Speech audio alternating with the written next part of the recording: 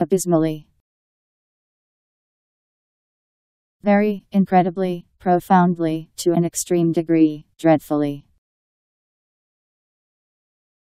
A B Y S M A L L Y. Abysmally.